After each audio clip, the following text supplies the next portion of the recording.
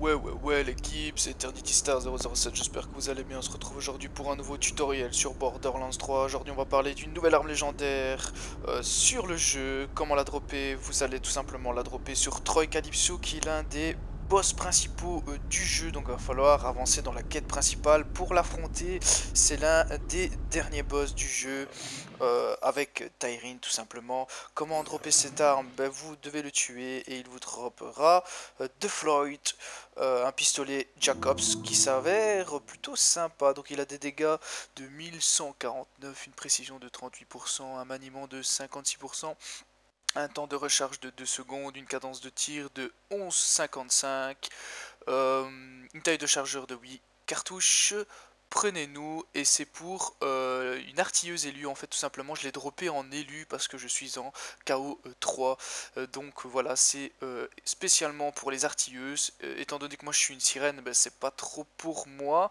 Ceci dit elle a l'air d'envoyer du sale. Après la sortie de l'ours de fer les deux chargeurs suivants infligent 40% de dégâts incendiaires bonus. Ça doit pas être une arme de merde. Voilà à quoi elle ressemble. Elle est vraiment très stylée une arme Jacobs, j'aime personnellement bien les armes Jacobs. Euh, donc voilà, ça fait un petit peu western je trouve.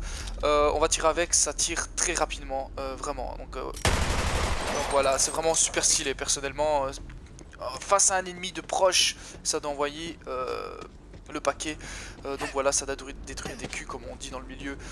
Voilà, donc j'espère en tout cas que ça vous aura plu, comment la dropper? Donc il va falloir se rendre à la grande arche de Pandore et avancer dans la quête principale encore une fois, tuer Troy et il vous droppera l'arme.